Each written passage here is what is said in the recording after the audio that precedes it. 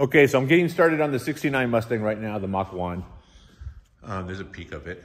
Um, I picked up a roll of uh, this plastic guard for the fenders. Um, actually, I use it, I've used it in a couple cars. I used it on the black truck, used it on 68. Either way, if I'm gonna be working with fluids or potentially getting greasy, um, I just got a roll of it. Actually, they sent me like a 36 inch roll and I just chucked it up in my lathe. We can go over and take a peek at the lathe. And uh, yeah, chucked it up in the lathe and used a uh, window knife to uh, just cut it in half. Buzz right through it, no worries. So yeah, 36 inches is too long. It covered the tires and everything too difficult for one person to put on. It was easy for two people to put on, not so easy for one person. So uh, if you do decide to use something like that, it can't be on the fenders for more than about two or three weeks. Take it off. The adhesive will, uh, they say, I've never seen it happen, but they say the adhesive, and it's not really any, any adhesive on it, it's just sort of a, a static connection, but there's some, some, there's something on there. But either way, it doesn't stick super hard, but it protects the car. So that's cool. Um, and also wipe the fenders down real good with uh, um, not a wax, but some sort of a waterless cleaner. Uh, okay, so this car came in originally for uh, just complete the project. And uh, when I saw the car originally, it was um, in the guy's garage, super nice garage, nice pad, uh, great working conditions but it was just on jack stands with no tires on it, no suspension. And he cobbled together the front suspension. It's all Hotchkis, it's real nice. And just uh, to make it roll, got it here. Um, wasn't even close, Brian, just so you know. Uh, wheels are not supposed to be pointed out like that. But either way, I got the suspension together. I put a steering gear box in it. It's down there. Uh, Borgeson power steering box. I got to route the uh, power steering lines and mount the pump. But I figured today, while it's on the lift, I will um, do the brake lines, get that all sorted out, pull out all the wheels. The way they have the brake lines set up is really not acceptable. Put a couple inserts right here for you to see.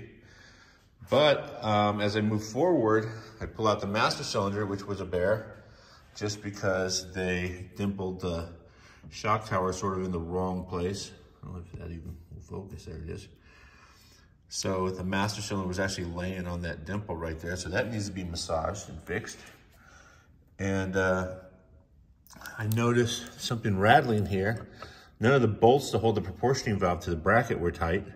None of the brake lines, they were snug, but they weren't tight. And then I don't know what this is all about, but you know what? I'm not gonna go crazy on that, but this is not cool. I don't know what that coil of wire is all about. Um, so basically, uh, when you get projects like this, if you decide to start helping your friends out, don't leave anything like that wrong. I mean, double check, triple check. But either way, it's like, so I mean, that's kind of the standard for projects like this. People bring stuff in and it's just gonna be a quick wiring job. Uh, uh, FYI, 69 Mustang, it's never a quick wiring job. It's a whole dash out major uh, build. But uh, you think it's gonna be one thing, it ends up being, you know, five other things. I noticed that uh, like no part of the wiring I can use. I can use the harness, but I'm gonna take it all apart, lay it all out, reroute it, put it back in correctly. You can't just stuff wires through a hole in the firewall and call that done. Uh, that's not cool. Um, wires laying everywhere uh, routed, just unsafe spots. It might work, fire the car up, get it out of the shop, but you gotta think about the future. Someone's gonna wanna drive this car for years to come. Um, yeah, not cool to drive. Something else I noticed is trans cooler mounted uh, right against AC condenser. I give that 2,000 miles before something starts leaking. And AC condenser mounted to core support I mean, what, four inches away from the radiator or the fan, that will generally make the pressure inside the AC compressor, the manifold on the back of the AC compressor, the pressure gets so high, it will just blow off all the freon into the atmosphere, cutting a hole in my ozone layer, and more importantly, preventing the air conditioning from blowing cold. So, even though it looks like it's all together, no part of that is cool. So I'll be moving the AC condenser directly in front of the radiator, maybe give it half inch. And then uh, if we use the same trans cooler, looks, looks like it was a good one back in the day, maybe it'll clean up. I will uh, mount that in a position that uh, works better. Um, anyway, that's the progress upgrade update. Anyway, that's the progress update on the 69 Mach 1. Um, yeah, if you're taking a job like this, be prepared for the unexpected. Like, who would have thought um, wiring turned into complete, I mean, it's going to be complete. Suspension, doing rear leafs, Hotchkis in the front, new brake lines, new fuel lines. Uh, only thing I'm not doing is pulling the motor because we're putting a different transmission in it. So yeah, it's gonna be a big project. All right, you guys, thanks a lot. More progress to come. See ya.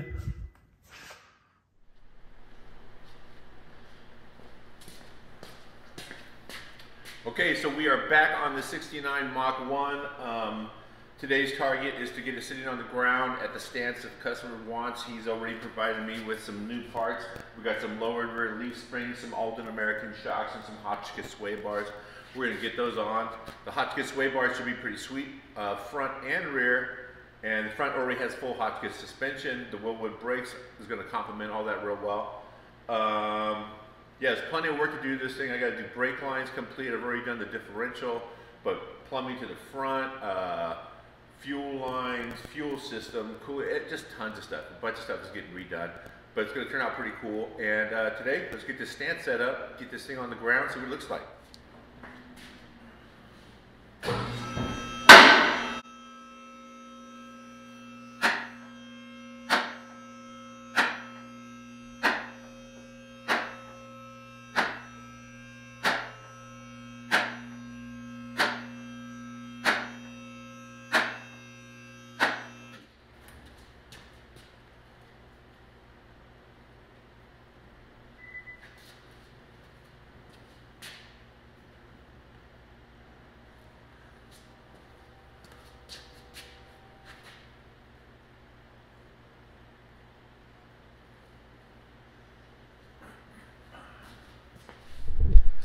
So as I walk around, look underneath here, I see the leaf spring bolts are loose in the front, which is a good sign.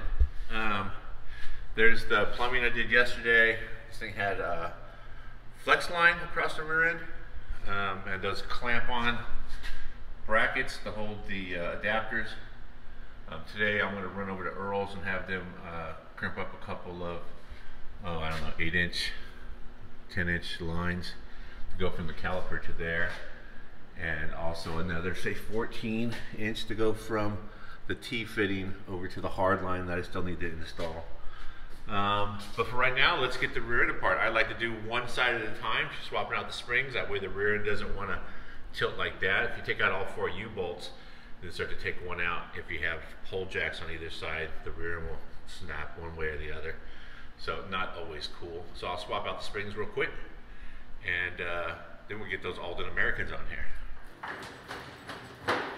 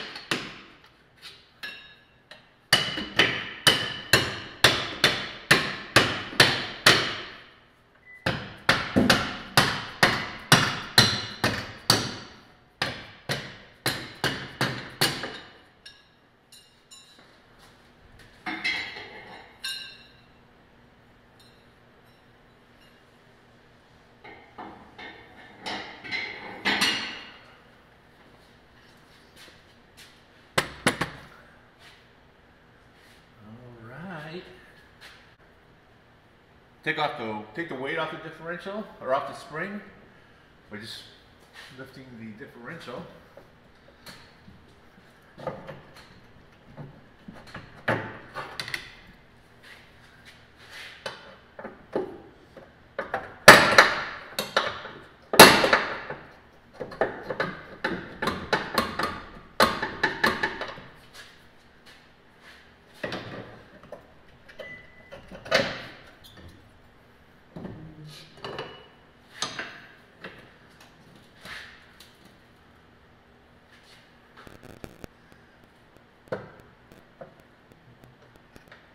Tech tip, remember to put some lubricant on these bushings when you install them, otherwise they will squeak.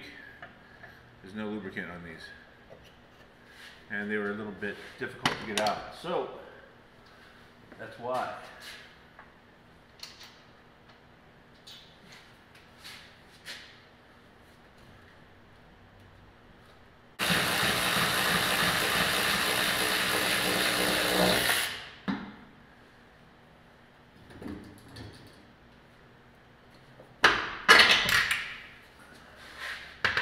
right, there's one spring right there.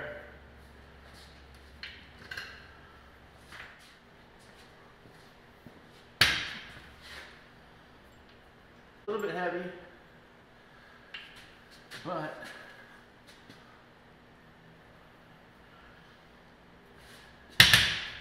here's a easy trick. If you have a brake stool handy,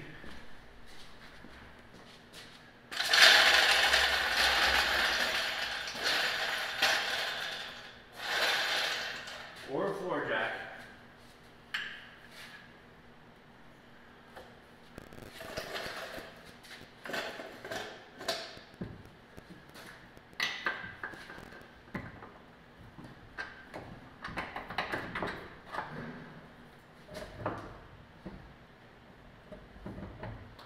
You balance one end on it.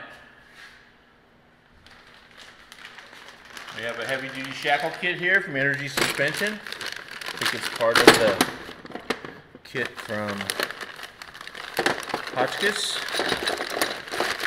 See if there is some. There it is. There's a little anti-squeak right there.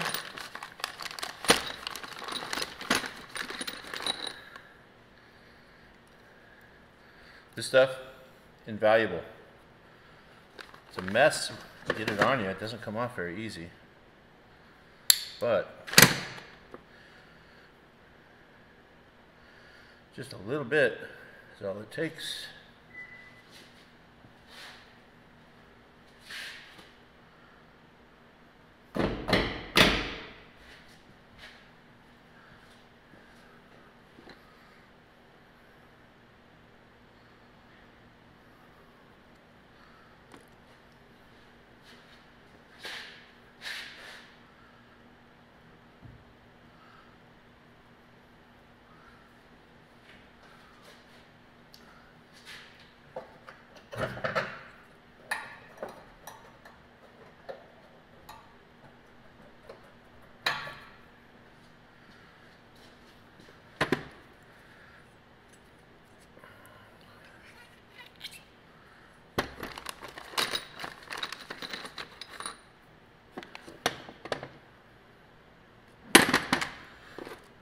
Put just a little bit around the edge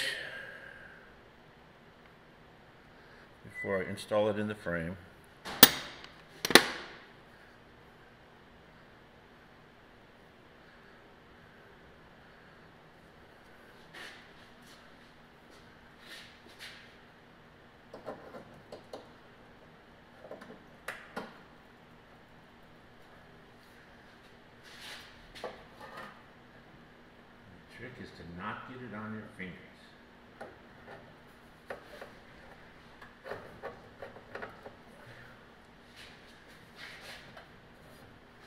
which I did.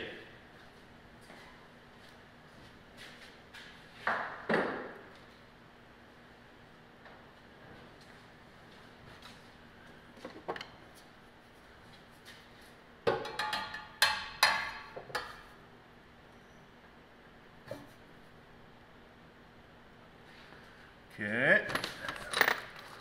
Now, people will forget this part, a little bit around these. Collars that actually go inside these new shackle bushings.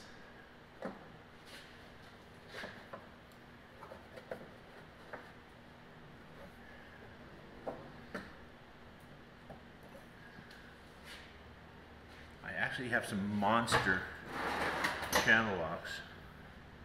Where the heck are they? Oh, you know what? They're in the other corner. They're in the other box. But I have some semi-monster ones here too.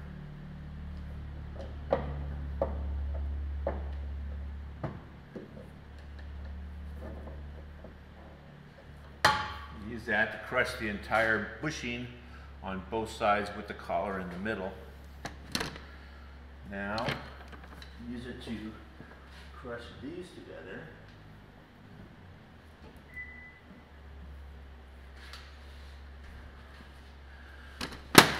And put a collar in there.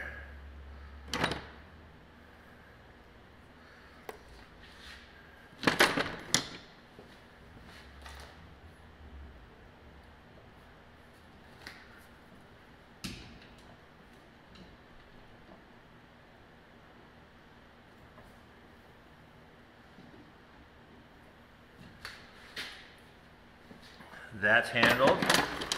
Now we have new hardware and new shackles.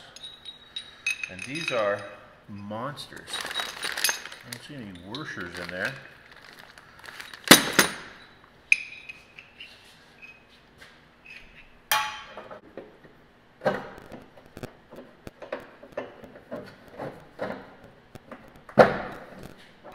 So that is the trick. You have a limited amount of space between the quarter panel and the where the bushing mounts. So put the collar in all the way through. It's almost coming out the other side. Gives you enough room to get the longer bolt through. Then once it's in, just move it back.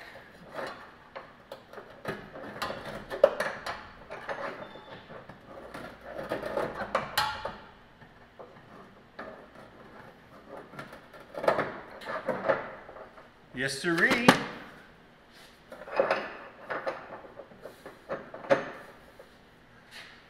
Yeah, customer ordered this heavy duty stuff. I like it.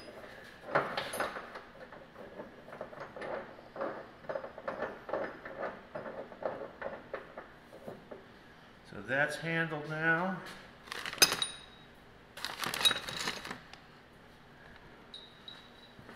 This collar is in, the bushings are in.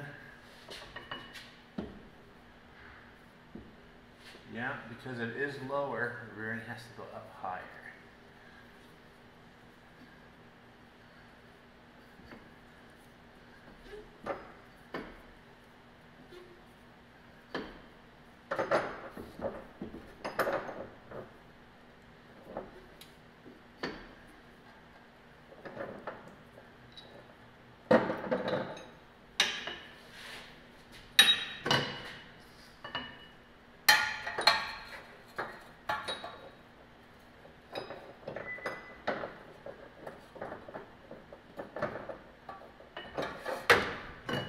Yeah, I thought there'd be more room on the bottom.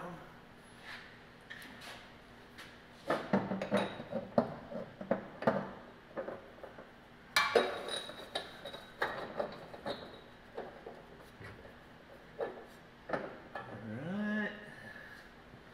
I think the other way to put these bolts in will be remove the gas tank. As I look around over here and see that the tank is kind of, no actually that won't even do it. Removing the gas tank won't make it possible to put the bolts in because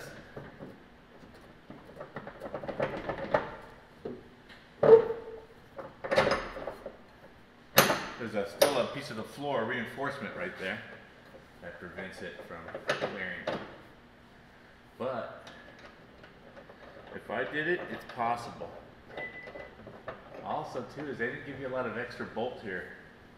They give you just enough bolt for this to engage.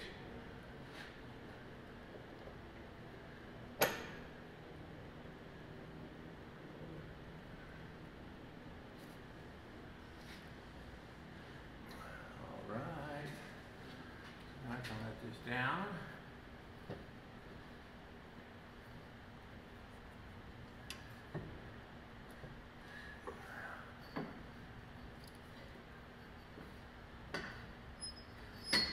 Once let it down, you gotta move it around so the alignment dowel locks in.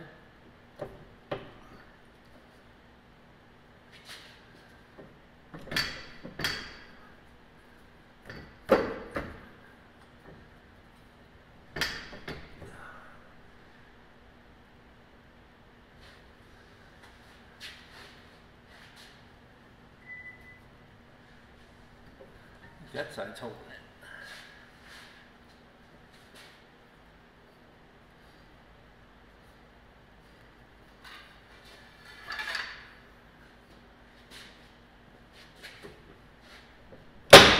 There it is.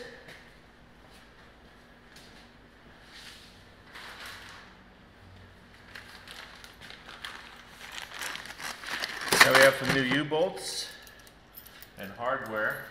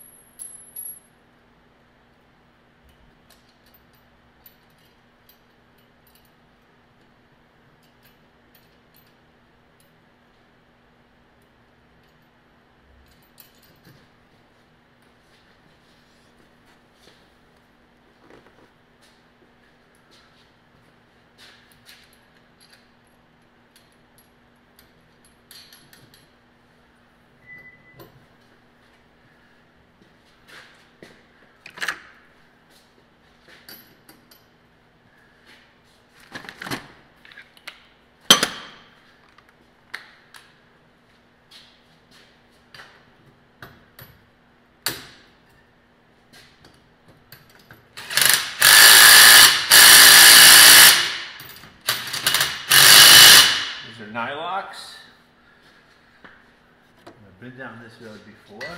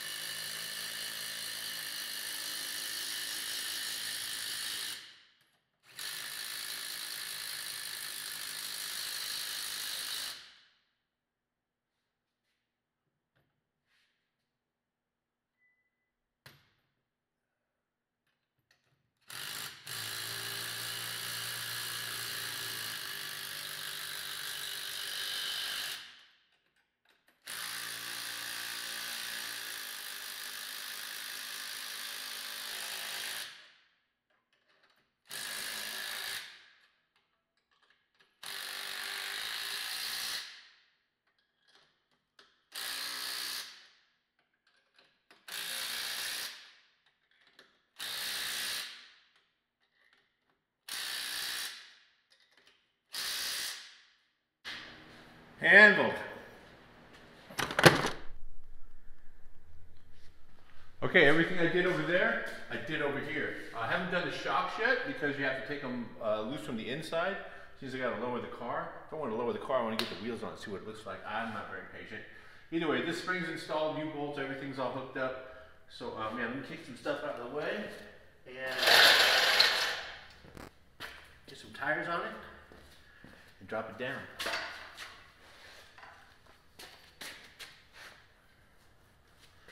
These are not the tires that are going on it when it's done. These used to be on it.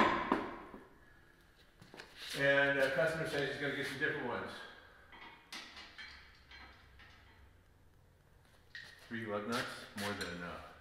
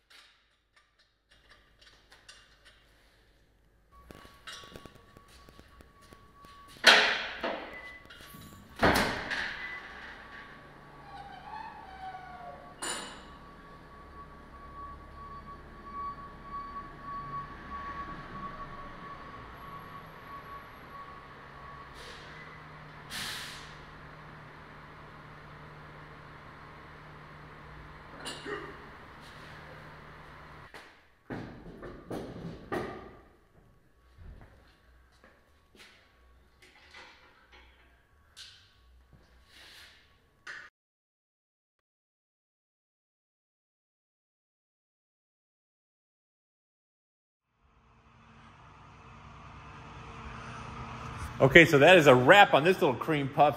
The 69 is sitting just right. When it settles down about an inch, three quarters of an inch to an inch, we get some more meat under that thing, it will be perfect for cruising. Thanks a lot for checking out the video. Don't forget to subscribe, share, tell a friend, uh, smash that like button, uh, hit the notifications, ring the bell, do whatever you do. Stay safe out there. See you next time.